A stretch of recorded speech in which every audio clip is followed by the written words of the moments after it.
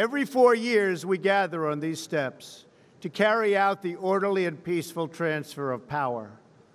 And we are grateful to President Obama and First Lady Michelle Obama for their gracious aid throughout this transition. They have been magnificent. Thank you.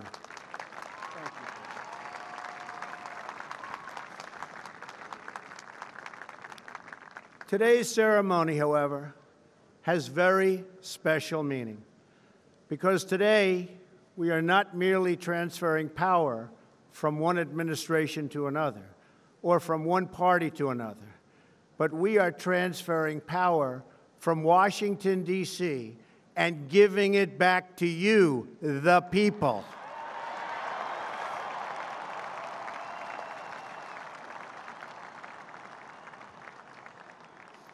For too long, a small group in our nation's capital has reaped the rewards of government while the people have borne the cost. Washington flourished, but the people did not share in its wealth. Politicians prospered, but the jobs left and the factories closed. The establishment protected itself, but not the citizens of our country.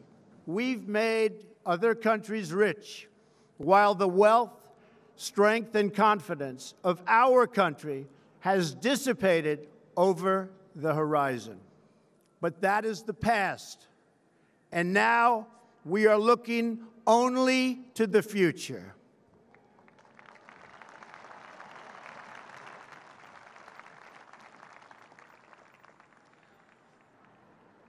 We assembled here today are issuing a new decree to be heard in every city, in every foreign capital, and in every hall of power.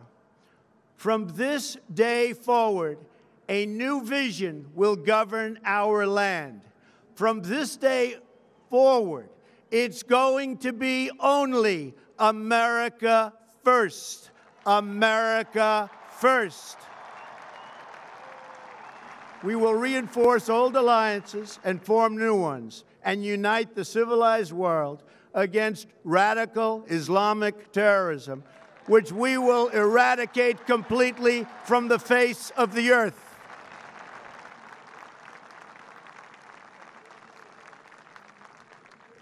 At the bedrock of our politics will be a total allegiance to the United States of America. And through our loyalty to our country, we will rediscover our loyalty to each other.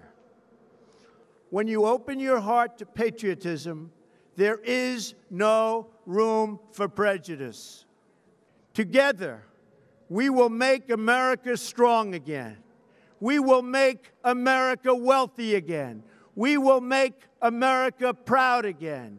We will make America safe again. And yes, together, we will make America great again.